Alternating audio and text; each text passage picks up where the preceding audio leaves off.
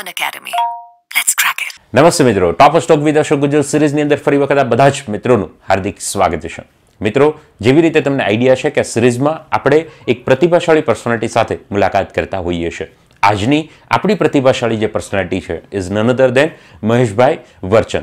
હા, મિત્રો. લાસ્ટ લેવાયેલી અને હમણાં જ જેમનું રિઝલ્ટ ડિક્લેર થયું છે સ્ટેટ ટેક ઇન્સ્પેક્ટર એસટીએની પરીક્ષાની અંદર જનરલ કેટેગરીમાં જેમણે ફોર્ટી એઇથ રેન્ક હાંસલ કર્યો છે. એટલું જ નહીં, મિત્રો. જેમણે જીપીએસસીની અંદર પ્રેલિમ પણ પાસ કરી છે અને આવનારી મેન્સ જેઓ આપવા જઈ રહ્યા છે. પીઆઈની કદાચ વાત કરીએ તો પીઆઈની અંદર મેન્સ તેઓ આપી ચૂકેલા છે અને રિઝલ્ટ હમણાં થોડા સમયમાં જે એમની પણ ઇંતજારી છે, એ રિઝલ્ટ પણ આવવાનું છે. ડીવાયએસઓની પણ પ્રિલિમ્સ જેમણે પાસ કરી છે. તો આવી રીતે જેમનો બહોળો અનુભવ જે છે, એ અનુભવનું ભાથું આજે આપની તૈયારી કરતા વિદ્યાર્થીઓમાં પ્રેરણા જરૂરથી પૂરી પાડશે અને સાથે સાથે માર્ગદર્શન પણ મળી રહેશે. તો આવો without wasting much more time આપણે મુલાકાત કરીએ મહેશભાઈ સાથે. મહેશભાઈ, સૌપ્રથમ આપનું હાર્દિક સ્વાગત છે અમારા પ્લેટફોર્મ પર.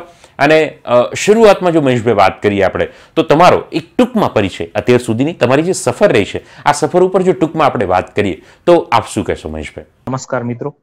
મારું નામ વર્ચન મહેશ અમીબેન છે. અમીબેન એટલે કીધું કે નાનપણમાં મારા પિતાજીનું ડેથ થયેલું ડેથ થઈ ગયેલું. એના પછી મને મારા પિતાજીની જગ્યાએ મારી મમ્મી મને ભણાવેલું. એટલે અત્યારે અમીબેન છે, મારા માતા પણ છે અને મારા પિતા પણ છે. મારું સ્કૂલિંગ સેન્ટ જોસેફ વિજાપુર ખાતે થયેલું, બાર ધોરણ સુધી. ત્યાર પછી મેં જીઈસી રાજકોટ ખાતે એન્જિનિયરિંગ કરેલું. અને એન્જિનિયરિંગમાં પણ મારું all over Gujarat first rank હતો. મારા ten out of ten SP હતા. પણ મને એન્જિનિયરિંગમાં રસ ન હોવાને કારણે મેં સ્પીપાની એક્ઝામ એક્ઝામ આપેલી બે હજાર ઓગણીસમાં. અને મને ત્યાં એડમિશન મળી ગયેલું અમદાવાદ ખાતે. ત્યાં એક વર્ષ સુધી મેં તૈયારી કરી અને એના પછી મારી એક્ઝામ્સ ક્લિયર થઈ છે. અને હું મૂળ મૂળ ચોબારી તાલુકો ભચાઉ અને જિલ્લા કચ્છથી બિલોંગ કરું છું.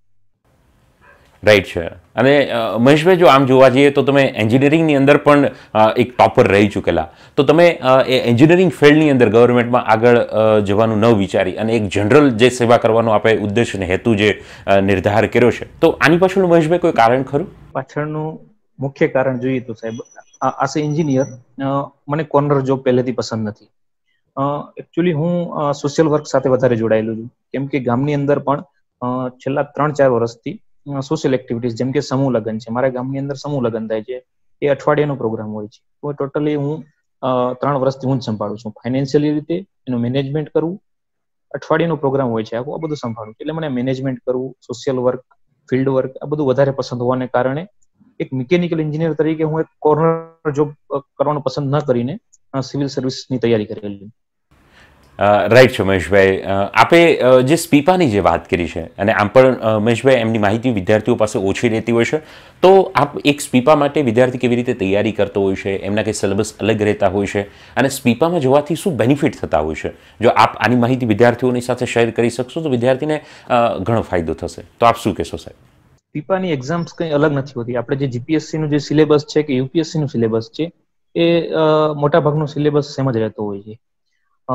મૂળ તો તમારે છે ને જે બેઝિક બુક્સ છે, બરોબર છે એનસીઆરટી છે, કે જે સ્ટાન્ડર્ડ બુક્સ છે, એ રેફર કરવાની રહે છે. પ્રિલિમ્સની વાત કરીએ જો સ્પીપા ખાતે પહેલા પ્રિલિમ્સ લેવાની આવે છે. બસો માર્ક્સની પ્રિલિમ્સ હોય છે.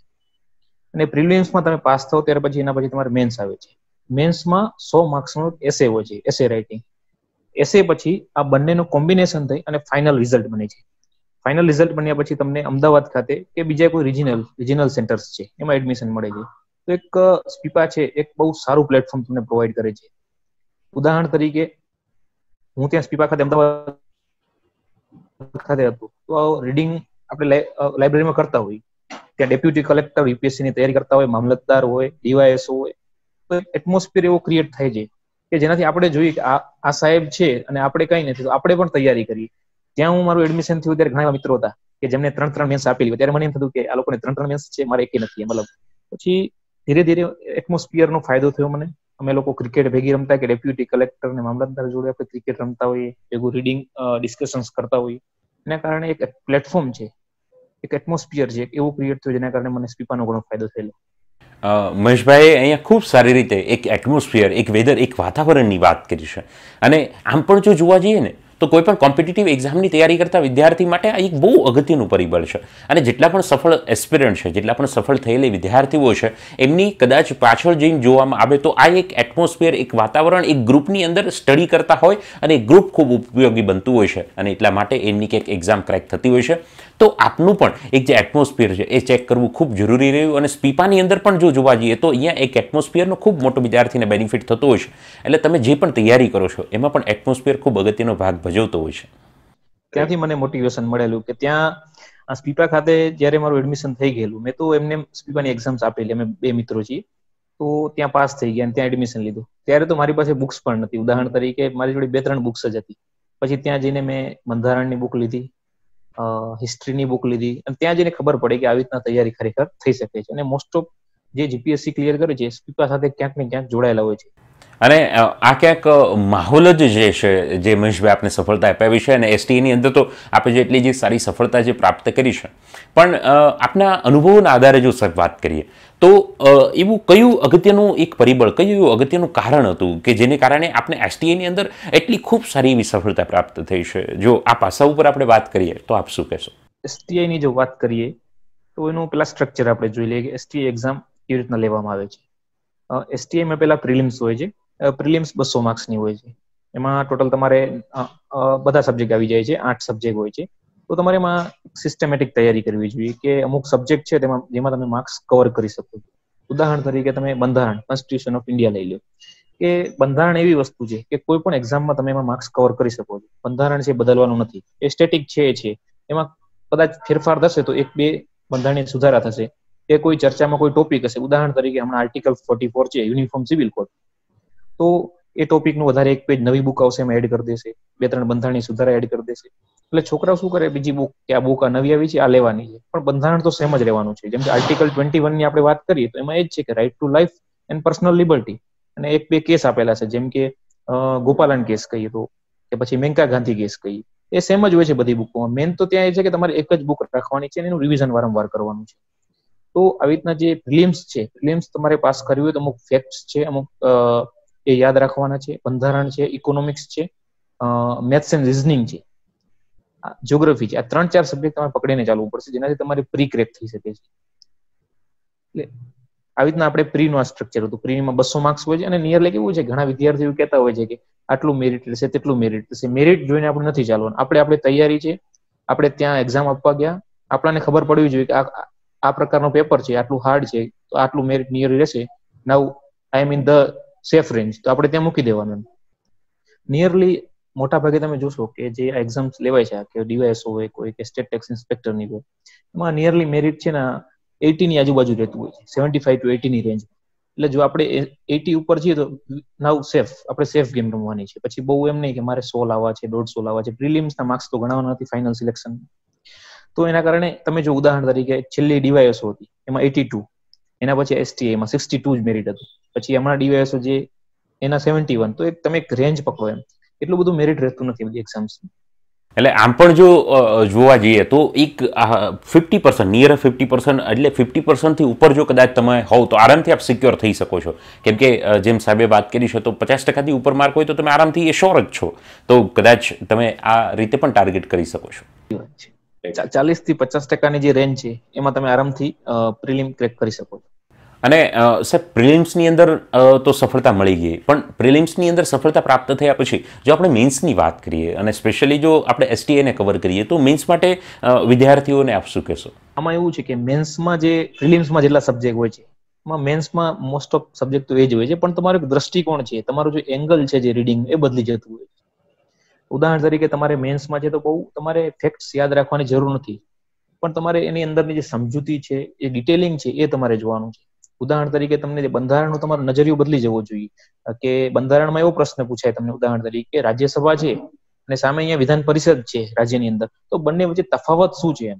કે રાજ્યસભા જોડે આટલી બધી સત્તાઓ છે, વિધાન પરિષદ જોડે કઈ નથી. તો આવા ક્વેશ્ચન પૂછાય છે. તમારો એંગલ બદલવો જોઈએ. જેવી પ્રિલિમ પાસ થયા તમે બુક તો એ જ વાંચવાની છે, પણ તમારો એક એંગલ માઇન્ડથી તમારો એંગલ ચેન્જ થઈ જવો જોઈએ. મહેશભાઈ, તમે આજે બધા વિષયોની જે વાત કરી છે સબ્જેક્ટની જે વાત કરી છે, અને આમ પણ આજે ઇન્ટરવ્યૂ છે, તો ઘણા એવા વિદ્યાર્થીઓ પણ જોઈ રહ્યા છે કે જે હજુ ક્યાંક તૈયારીની શરૂઆત કરવાનું વિચારે છે. કદાચ એ નેક્સ્ટ એસટીઆઈ માટે, કદાચ નેક્સ્ટ ડિવાઇસો માટે, કદાચ નેક્સ્ટ જીપીએસસી વન ટુ માટે એ ક્યાંક પ્રયાસ કરી રહ્યા હોય. ઘણા એવા પણ વિદ્યાર્થીનો વર્ગ હોય છે ડ્યુરિંગ ધ એન્જિનિયરિંગ હજુ અથવા તો ડ્યુરિંગ ધ ગ્રેજ્યુએશન પિરિયડમાં હોય. અને જે વિચારતા હોય કે મારે પણ ગવર્મેન્ટ ફિલ્ડમાં જવું છે. તો એવા વિદ્યાર્થીઓ માટે તમે આપ એ જણાવો કે આ જે વિષયો છે, તો એના જે આઈડિયલી જે બુક સોર્સ છે, અથવા સ્પેશિયલી તમને જે એસટીએની અંદર સફળતા જે પ્રાપ્ત થઈ છે, તો આ સફળતા પાછળ તમારા કયા બુક સોર્સ રહેતા હતા? જો આ બુક સોર્સ ઉપર આપણે વાત કરીએ, તો આપ સોર્સની વાત કરીએ તો હું ઇંગ્લિશ મીડિયમનો સ્ટુડન્ટ છું. એટલે હું ઇંગ્લિશ મીડિયમની જે ઇંગ્લિશ છે જ બુક્સ વાંચતો હતો. ઉદાહરણ તરીકે બંધારણ છે, તો એમાં હું લક્ષ્મીકાંતની બુક પ્રેફર કરું છું. પછી હિસ્ટ્રી છે, તો એમાં એન્શિયન્ટ માટે હું એનસીઆરટી કરું છું. પછી મોડર્ન માટે સ્પેક્ટ્રમ વાંચું છું. પછી ઇકોનોમિક્સ માટે હું મૃણાલ સર જે છે, એમના લેક્ચર્સ પ્લસ હેન્ડઆઉટ એ બહુ સરસ છે. પછી જ્યોગ્રાફીની જો વાત કરીએ, તો રાજતાનીલ મેડમના લેક્ચર્સ છે, જે સ્પીપરમાં ભણાવેલા છે એમને. એ લેક્ચર્સ યુટ્યુબ પર અવેલેબલ છે. આ જોઈ શકીએ છીએ. પછી કલ્ચર છે મોટાભાગે ગુજરાતની અંદર કલ્ચરમાં ગુજરાત રિલેટેડ કલ્ચર પૂછાતું હોય, સાંસ્કૃતિક વારસો. તો એના માટે મેં બે બુક વાંચેલી. જેમ કે જોરાવરસિંહ જાદવ અને હસીતાબેન સેદાણીની છે, ગુજરાત ગ્રંથ નિર્માણ બોર્ડની. તો આ બે બુક ઇનફ છે તમારે જો ગુજરાત જીપીએસસી ની તમે પરીક્ષા આપતા હો, તો કલ્ચરની અંદર આ બે બુક ઇનફ છે તમારી માટે. પ્લસ સાયન્સ એન્ડ ટેકની વાત કરીએ જો, તો સાયન્સ એન્ડ ટેક મોસ્ટ ભાગે કેવા પ્રશ્નો પૂછશે કે જે કરંટ રિલેટેડ હોય. ઉદાહરણ તરીકે કોઈ ડીઆરડીઓ કોઈ મિસાઇલનું લોન્ચિંગ કર્યું છે સક્સેસફુલ છે. કોઈ ઈસરોનું કોઈ સેટેલાઇટ છે, જેમ કે હમણાં જે સેટેલાઇટ લોન્ચ કરી હોય છે, છેલ્લા છ મહિનામાં, તો એના વિશે પૂછાઈ શકે છે. તો આવા જે સાયન્સ એન્ડ ટેક છે, એમાં તમારે સ્ટેટિકમાં બહુ ઓછું હોય. કરંટ રિલેટેડ જ વધારે પૂછાય છે પ્રિલિમ્સ અને મેન્સમાં પણ. પછી જો આપણે બીજા કોઈ એન્વાયરમેન્ટની વાત કરીએ, તો એન્વાયરમેન્ટમાં આ જ પ્રશ્ન પૂછાય અમુક, જે લેટેસ્ટ હોય કરંટ અફેર હોય, કોઈ નવો કોઈ વેટલેન્ડ કોઈ ડિક્લેર કર્યું હોય, કોઈ નવો ટાઈગર રિઝર્વ ડિક્લેર કર્યું હોય, કોઈ રામસર કન્વેન્શન છે જે વેટલેન્ડ માટે, એમાં ડિક્લેર આ બધું જે કરંટ છે, અમુક સબ્જેક્ટ એવા છે જે કરંટ પર જ ટોટલ પૂછાતું હોય છે. પ્રિલિમ્સ પ્લસ મેન્સ બંને. તો આવી રીતના જે મારો બુક સોર્સ છે, એ બહુ લિમિટેડ છે. અને લિમિટેડ બુક સોર્સથી જ મેં પ્રી પ્લસ મેન્સ પાસ થયેલી. મહેશભાઈ, ઘણી વખત એવું વિદ્યાર્થીઓને થતું હોય છે. અને સ્પેશિયલી જે વિદ્યાર્થી જ્યારે તૈયારીની શરૂઆત કરે ને આવા કેસની અંદર જ્યારે વિદ્યાર્થી જેમ તમે બુક્સની વાત કરી, બુક સોર્સ, એ બધી જ બુક લાવી દે. પણ જ્યારે પછી સિલેબસ જુએ, તો ખબર પડે કે ઓહો, આ તો એટલો મોટો વિશાળ દરિયો છે. અને એવું શોર નથી કે આ દરિયામાંથી પાછું એ પાણી ક્યાંક આપણને મળવાનું છે, કે આમાંથી કંઈ પૂછાવાનું છે. તો આવા કેસની અંદર એક વિદ્યાર્થી શું કેવી રીતે થઈ શકે તૈયારીની શરૂઆત? કેમ કે અહીંયા શરૂઆત કરવી ખૂબ અગત્યની બનતી હોય છે. શરૂઆતમાં જેવો ડર થાય કે યાર બહુ વિશાળ છે, આ તો મારાથી થોડું થાય. આવો ભાવ અને આવો વિચાર કોઈ પણ વિદ્યાર્થીની તૈયારીના પિરિયડ દરમિયાન આવ્યો હોય છે. તો તમને પણ જ્યારે આવો વાત અને વિચાર આવતી, ત્યારે તમે કેવી રીતે એમાંથી બહાર આવતા અને એક વિદ્યાર્થીએ તૈયારીની શરૂઆતમાં આવા વિચાર આવે, તો શું કરવું જોઈએ? આપના મતે તમારું શું માનવું છે? બિલકુલ સાચી વાત છે સાહેબ, કે જે તૈયારીનો ફેઝ છે, જે સ્ટાર્ટિંગ પોઈન્ટ છે, જે ઇગ્નિશન છે, જે તમને સ્પાર્ક પ્લગ મળવો જોઈએ સ્પાર્ક ઉદાહરણ તરીકે જે મેં તૈયારી જ્યારે મેં ચાલુ કરેલી, તો ત્યારે મારી જોડે પણ એક જ બુક હતી. એમાંથી હું રોજના દસ પેજ વાંચતો અને એને હું રિવિઝન કરતો એ રીતના. પણ ધીરે ધીરે જે માણસની ઉત્ક્રાંતિ થઈ ઇવોલ્યુશન થયું, એમ ધીરે ધીરે મારી પણ ઉત્ક્રાંતિ થઈ એટમોસ્ફિયરના કારણે પ્લેટફોર્મના કારણે, સારા મિત્ર સર્કલના કારણે અને ધીરે ધીરે મેં દરેક સબ્જેક્ટની એક એક બુક વસાવી લીધી. તો આમાં કેવું છે કે સિલેબસ તો મોટું છે પ્રિલિમ્સમાં એવું હોય છે કે આપણને શું પૂછાશે, ક્યાંથી પૂછાશે, પણ આપણે જે સારી તૈયારી હોય, અમુક બેઝિક જે સબ્જેક્ટ મેં કીધા, જેમ કે બંધારણ છે ઇકોનોમિક્સ છે કે પછી કરંટ અફેર એન્ડ રિઝનિંગ છે મેથ્સ એન્ડ રિઝનિંગ આ એવા સબ્જેક્ટ છે જે તમને માર્ક્સ કવર કરાવી શકે છે, બરોબર? પ્રિલિમ્સમાં કેવું છે કે તમારે બહુ ક્યાંથી પૂછાશે એની ચિંતા નથી કરવાની. તમારે એક સિલેબસ છે કવર કરવાની ટ્રાય કરવાની. ઉદાહરણ તરીકે જે લોકો સ્ટેટ ટેક્સ ઇન્સ્પેક્ટર કે જીપીએસસી ની તૈયારી કરતા હોય છે, એ લોકો પહેલા શું કરવાનું છે કે પ્રિલિમ્સનું જે સિલેબસ છે એ પ્રિન્ટ આઉટ કઢાવી પોતાના ટેબલ પર ડેસ્ક પર મૂકી દેવાનું છે. અને એમાં જેટલા ટોપિક્સ આપેલા છે, આપણે એટલા ટોપિક્સ કવર કરવાની ટ્રાય કરવાની મોસ્ટ ઓફ થઈ જતા હોય છે.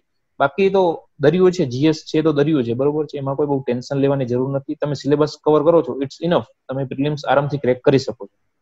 એટલે કે ક્યાંક જ્યારે એ વિદ્યાર્થી તૈયારીની શરૂઆત કરતો હોય તો બુક્સ ઓફ એટલે તમારે અહીંયા સિલેબસને જેવી રીતે મહેશભાઈ વાત કરી છે કે ભાઈ સિલેબસના એક એક ટોપિકને ક્યાંક કવર કરવાના છે અને એકવાર એ કમ્પ્લીટ થશે, એકવાર શરૂઆત થશે, તો આપણે ખૂબ સારું આગળ ધીમે ધીમે વધી શકશું. એટલે ક્યાંક એટલો વિશાળ દરિયો છે, એટલો સિલેબસ છે, એવા ભાવમાંથી, એવા વિચારમાંથી ક્યાંક બહાર આવી. અને મારે આ સિલેબસ મારે આ ટોપિક મારે આ એટલું કમ્પ્લીટ કરવું છે. આવું જો પ્લાનિંગ અને સ્ટ્રેટેજી કરશું, તો આપણને ચોક્કસથી ક્યાંક સફળતા પ્રાપ્ત થશે, જેવી રીતે મહેશભાઈ આપણી સાથે શેર કરી રહ્યા છે. અને જો મહેશભાઈ જોવા જઈએ, તમારી આખી સફર દરમિયાન તમે હમણાં પણ જે વાત કરી છે, આ અલગ અલગ જે વિષયો છે આ વિષયો પૈકી એક જે બંધારણ છે, એ ક્યાંક આપનો પ્રિય વિષય રહ્યો છે. અને બંધારણની અંદર પણ જો વાત કરીએ, તો વિદ્યાર્થીને આ તો બહુ મોટાભાગના વિદ્યાર્થીને બોરિંગ સબ્જેક્ટ લાગતો હોય. કેમ કે બંધારણમાં જે અલગ અલગ અનુચ્છેદ જે યાદ રાખવાના છે આ અલગ અલગ જે બધું ગોખવાની વાત વધારે આવતી હોય છે. તો અહીંયા વિદ્યાર્થીની એ રિકોલિંગ જે કેપેસિટી છે, એ ઘણી વખત ઓછી હોય છે, યાદ નથી રહેતું, કંટાળો આવે છે. આવી બધી કમ્પ્લેન આ સબ્જેક્ટને લઈને વધારે આવતી હોય છે. અને તમારા માટે આ સબ્જેક્ટ પ્રિય છે. તો આ સબ્જેક્ટ કેવી રીતે પ્રિય બન્યો? અને બંધારણમાં વિદ્યાર્થીએ શું બાબતનું ધ્યાન રાખવું અને કેવી રીતે તૈયારી કરવી જોઈએ? આના ઉપર વાત કરો તો આપ શું કહેશો? સાહેબ, તમારી બંધારણ એક એવો વિષય છે કે જે તૈયારી કરતા હોય એ મિત્રોએ તો વાંચવું જ જોઈએ. જે તૈયારી ન કરતા હોય એમને પણ બંધારણ વિશે તો ખબર હોવી જ જોઈએ કે બંધારણની અંદર મૂળભૂત અધિકાર શું છે? આપણી મૂળભૂત ફરજો શું છે? તો બંધારણને જે વિદ્યાર્થી મિત્રો તૈયારી કરે છે, જો હું વાત કરું કે કેવી રીતના તૈયારી કરવી જોઈએ એની? તો બંધારણની અંદર પહેલા તો તમારે છે ને આર્ટિકલ બહુ એટલા બધા રટ્ટો મારવાની કે ગોખવાની ટ્રાય નથી કરવાની. આર્ટિકલ્સ તમારે નિયરલી સમજો ને ચાલીસથી પચાસ એવા આર્ટિકલ છે જે તમને ખબર હોવી જોઈએ. ભલે પૂછાય કે ના પૂછાય, પણ તમે મેન્સમાં લખી શકો કે આર્ટિકલ છે ડાયરેક્ટ તમે, તો તમારો ત્યાં પ્રભાવ સારો પડે. તો આર્ટિકલ પચાસ સુધી તમને યાદ હોવા જોઈએ. ઉદાહરણ તરીકે કે સિટીઝનશીપના અમુક છે આર્ટિકલ્સ પછી ફંડામેન્ટલ રાઇટ્સ છે એ બધા આર્ટિકલ તમને હોવો જોઈએ કે શું છે આર્ટિકલની અંદર. બહુ આર્ટિકલ વધારે યાદ રાખવાની ટ્રાય નથી કરવાની પહેલા. કેમ કે મેં પણ કરેલી. જ્યારે મેં જીપીએસસી વન ટુ ની મેન્સ આપેલી ફિલિમ્સ આપેલી પહેલી, ત્યારે મને નિયરલી ત્રણસો કે સાડા ત્રણસો આર્ટિકલ્સ આવડતા હતા, પણ અંદરની સમજૂતી મેં નથી વાંચેલી. એના કારણે હું ફેલ થયેલો પહેલી જીપીએસસી વન બે હજાર અઢાર ઓગણીસ વાળી. તો આમાં એવું કરવાનું છે કે પેલા આર્ટિકલ આટલા જ યાદ રાખવાના છે, પછી તૈયારી કેવી રીતના કરવાની છે, એની સમજૂતીમાં વધારે જવાનું છે. ઉદાહરણ તરીકે આપણે વાત કરતા હોઈએ પ્રેસિડેન્ટની કે રાષ્ટ્રપતિ છે, તો રાષ્ટ્રપતિ જોડે શું શું સત્તાઓ છે? શું પાવર્સ છે એની જોડે? લેજિસ્લેટિવ પાવર્સ એક્ઝિક્યુટિવ પાવર શું છે? જ્યુડિશિયલ પાવર શું છે? તો એક આખો નજરિયો એવો હોવો જોઈએ. એની અંદર સમજૂતી છે. આવી રીતના રાષ્ટ્રપતિ છે ઇલેક્શન આવી રીતના થાય, એને રિમૂવલ કરવું હોય તો આવી રીતના એનું રિમૂવલ થઈ શકે. તો ડીપમાં એમ ધીરે ધીરે આખો પ્રોસેસ સમજવાની છે. અને પ્રોસેસ સમજશો તો બંધારણ એકદમ ઈઝી છે. અને તમારો ફેવરિટ સબ્જેક્ટ બનતા વાર નહીં લાગે તમને. અને સ્પેશિયલી જો મહેશભાઈ જોવા જઈએ, તો બંધારણ જે વિષય છે વિષય જે પ્રમાણે તમે વાત કરી છે, અને આમાં નોટ્સ બનાવવાની જે વાત હોય, તમે આમાં નોટ્સ કેવી રીતે બનાવતા હતા? બંધારણની અંદર મેં પ્રિલિમ્સમાં કોઈ નોટ નથી બનાવેલી, સાહેબ. પ્રિલિમ્સમાં હું જે લક્ષ્મીકાંત છે, મેં રિવિઝન વધારે રિવિઝન કરેલું વધારે. પ્લસ મેન્સમાં જ્યારે મારું આવ્યું, ત્યારે મેન્સમાં હું એમાંથી અમુક અમુક ક્વેશ્ચન્સ છે, એ સાઈડમાં હું નોટ ડાઉન કરતો. જેમ કે ઉદાહરણ તરીકે મેં તમને જે રાજ્યસભા વાળો ક્વેશ્ચન કીધેલો, કે રાજ્યસભા છે અને વિધાન પરિષદ છે બે વચ્ચે તફાવત શું છે ડાયરેક્ટ પૂછી શકે ઘણી વાર. પછી અમુક એક મેન મેન પોઈન્ટ હું નોટ ડાઉન કરતો કે આપણને બહુ ડીપમાં નહીં લખવાનું, જેમ કે રાષ્ટ્રપતિ શું સત્તાઓ છે, તો લખી નાખવાનું કે જ્યુડિશિયલ ડીપમાં નોટમાં ખાલી એટલું લખવાનું જ્યુડિશિયલ પાવર્સ એક્ઝિક્યુટિવ પાવર્સ પછી બીજા તો આપણને યાદ હોય, તરત એક પોઈન્ટ ત્યાં મળવું જોઈએ મેન્સમાં ક્વેશ્ચન પૂછાય કે શું પાવર્સ છે એમ. અંદરનું આપણને ખબર હોય, પણ ઘણી વાર જે મેન વર્ડ હોય ના મળતું હોય. તો વર્ડિંગ કરતો હું મેન્સમાં આના માટે. તો એવી રીતના જે અમુક લિમિટેડ આવા જે ક્વેશ્ચન્સ છે એ હું વધારે તૈયાર કરતો. જેમ કે ગવર્નર છે અને સીએમ છે, તો બે ગવર્નરને એપોઇન્ટ કરે છે અને સીએમ ને ઇલેક્શન થાય છે. તો આ પ્રશ્ન પૂછાય છે કે કેમ ભાઈ સીએમ ને ઇલેક્શન થાય છે, તો ગવર્નર ઇલેક્શન કેમ નથી થતું એમ? તો આવા જે અમુક ક્વેશ્ચન્સ છે એ તમારે બહાર પાડી મેન્સમાં એ નોટ ડાઉન કરી લેવા જોઈએ, જે પૂછાઈ શકે છે. અન Academy.